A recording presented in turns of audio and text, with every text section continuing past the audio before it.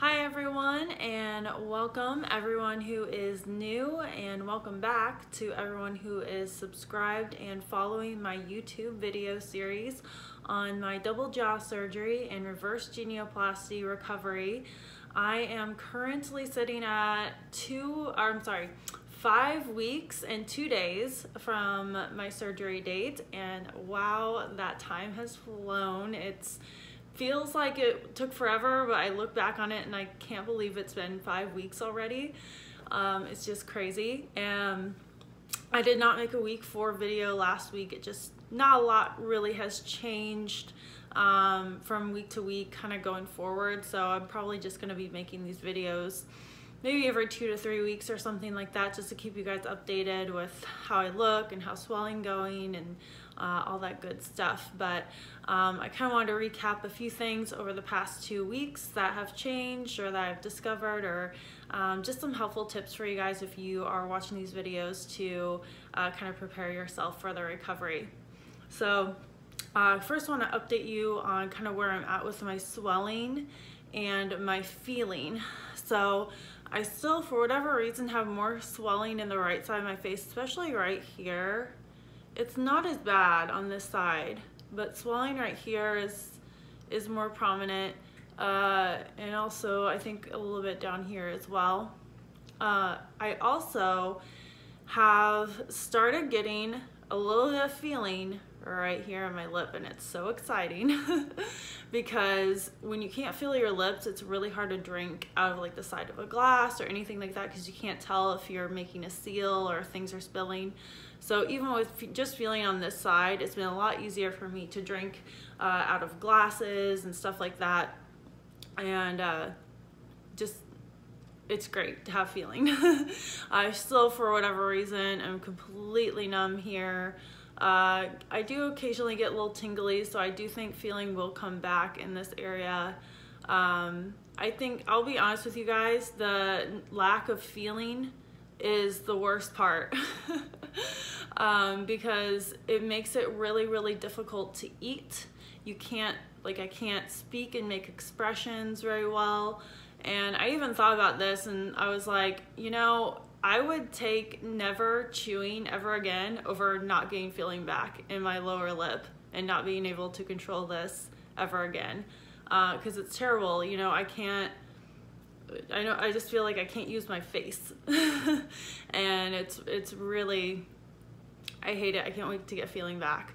Uh, the other thing is I still have quite a bit of scar tissue, especially up here. You can kind of see when I smile, this little bit of gum right here that's kind of scar tissue built up. I am still kind of running my finger underneath and rubbing that like the doctor told me to to kind of break that up. But there's just a lot of scar tissue in there so you have to kind of continuously do that uh, to work that out and kind of loosen it. Um, I did start going back to work in person um, last week, so week four beginning of week four, I did uh, go out to clients um, that week and uh, you know, I still can't talk completely right, so it's it's been a little bit of a challenge. But the I I'm able to come home for lunch, so I can have my smoothies and stuff here, and I blend my soups for lunch. Uh, so that hasn't been too bad. It's just if my client is out of town or something like that, I kind of told my work to only schedule me in town for a while, uh, just because it's going to be hard for me to eat like on the go. Um, and they've been really great in accommodating that. So um, what I've been eating lately, so you guys know, uh, I've been doing a lot, I still do a lot of soups and, uh, you know, uh, smoothies and stuff like that, but I've been incorporating a little bit more. I actually started getting frozen entrees, um, like this one, for example. This is by Tattooed Chef, and it's actually a, it's a plant-based uh, entree so this is like plant-based pepperoni and cheese. I think the cheese is, I think the cheese is real. cheese, dairy cheese, but um, it's cauliflower based, so it can blend up really well. And there's a few other ones by this brand that are really good like that. So I try to look for frozen entrees that are kind of soft and can be blended up, like have cauliflower in them, don't have, you know, bits or pieces that can't be blended up. And that's just helped me feel a little bit more full at lunch. Sometimes you get sick of doing soups and stuff like that. Um, so I've started that. Um, I've been incorporating yogurts a lot. It is a lot easier for me to use a spoon uh, than to try to drink something or use a syringe. Uh, again, like I really haven't used a syringe other than the first two weeks I used the syringe with a catheter for liquids. I really have not used that syringe ever since. It's just been easier for me to drink out the side uh, of a cup or uh, use a spoon. And for water, I totally forgot that I had these uh, squeeze bottles. They're like for biking um, that, you know, have the end that you can just squeeze it out into your mouth. I've been using those to drink water way easier. so that's kind of been my go-to product for drinking water, especially is those squeeze bottles. That's really helped me a lot. Um, and I've tried to get, be adventurous and try to discover like what what can I eat. Like for example, I went to uh, Panera and I got the tomato soup, and you you know how they always give you the bread with it. I was like, oh man, they gave me the bread and I can't eat it, and I was like, wait, maybe I can. So I like ripped it open to get to the really soft middle part and I plucked out tiny little pieces and I put it in my soup, like tiny, tiny pieces that I didn't need to chew or anything like that. And I put the, all the little tiny breadcrumbs in my soup and I was able to eat the bread that way and it made me so excited.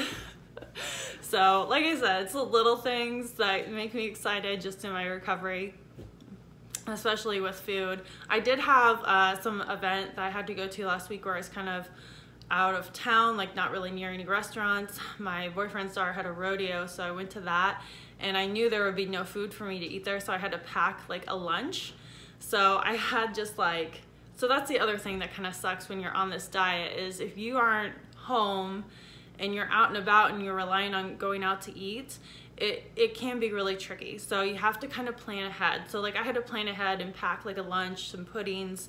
Luckily the concession stand let me use their microwave to heat up my soup. So I had a hot lunch. So um, just little things like that you kind of have to think ahead for.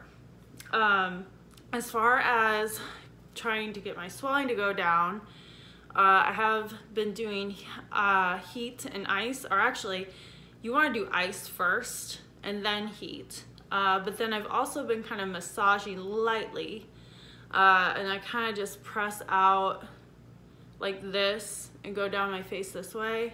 I think it's kind of a lymphatic massage. I don't know exactly what that is, but I think it's the similar idea to that. Um, but I just am really, because this is where my bone is broke, right? Up here and then down here. And then for my genioplasty, it's like cut here. So in those areas, really, really light. I'm not rubbing really hard or trying to touch the bone. Just It's supposed to be a soft tissue massage anyway, so you shouldn't go too deep or too hard. But I heard that just kind of helps, you know, reduce the swelling when you do light massage too. Uh, so I've been doing that a little bit. Uh, I still have my rubber bands in. Uh, he, the doctor did say that in the next two weeks I should be able to just do these at night. Uh, I actually don't have them in right now. I thought I did, but I took them out to eat. I just ate lunch. Um, so I did have a big stitch in the roof of my mouth, which was taken out this morning. I saw the doctor this morning. I guess he had somehow uh, cut the roof of my mouth and he literally asked me before he took the stitch out this morning he's like there's no air coming in through that hole is or is there's no hole or anything with air coming in? I'm like what? There was like it was open like that. I guess i didn't realize it. But he took that stitch out and it was kind of bothering me because like the tail was hanging down and everything but um uh, he did okay me to start eating soft food like i can start chewing very, very soft food on Christmas, which is this Sunday. I'm going to be celebrating Christmas. Uh, today's Thursday. So I'm excited to do that. I'm excited that I can have my mom's cheesy potatoes.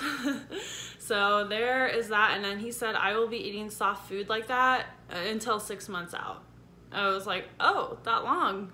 He's like, yep. You, we do like they do a scan of your face to make sure the bone density is there, and then you can start eating whatever you want. So that's a long time to eat soft food. so I will let you know how that progress goes. I'm still pretty much doing pureed at the moment. Um, and that's going fine for me. Honestly, it doesn't really bother me that much. I've gotten used to it. Um, oh, I did. Um, since I've been working out again the last two, three weeks, I've lost another six pounds. so I, again, I'm not trying to lose weight at all. Um, it's just I, I don't have an appetite to eat a lot, especially when you're eating like liquids and smoothies and stuff like that. And with me working out now and uh, not uh, not being sedimentary like I was the first week, I'm just losing more weight. So it's fine. I felt like I had the weight to lose. Um, I'm gonna try to maintain it. We'll see how that goes. Um, I did ask the doctor too because I, I like to sleep on my side and I every time I sleep on my side, I kind of freak out and be like, oh no, like should I not be sleeping on my side? Is it pushing on my jaw or something like that? I asked him this morning. He said it's okay to sleep on my side. So I don't know at what point you're okay to do that, but at least at this point, I'm okay to sleep on my side, which is such a relief. Um, so I think that's kind of all I have to update right now. Uh, I did like I did bring a smoothie blend, a little blender thing to work, uh, just in case I can't, can't go home, like to my office, just in case I can't come home because my office is a little far away. It's like the other side of town from my uh, house. So I did bring a little blender there, like not a big one. They make these, I can't remember what they're called. I actually borrowed it from my mom, but they're not super loud like my Ninja. They're kind of like little portable ones you can plug in with a USB port. So I brought that to my work. So hopefully that works. We did have like a little Christmas party thing last week that I, I brought it and I kind of blended up some chocolate cake in there and drank it but um, it hasn't been too bad otherwise um, I do feel like pretty good I would like for swelling to go down and mainly feeling to come back number one uh, I can't wait for that but I will keep you guys updated. Like I said, probably we'll do another video in another two or three weeks or so and let you guys know how it's going. So like this video and subscribe if you would please. I would really, really appreciate it. Um, if you want to check out more of my videos, I do have videos uh, pre-op before the surgery so you can see what I look like. And I have uh, videos one through three uh, week one through three uh, up posted as well. So thank you guys for checking this out and have a great one.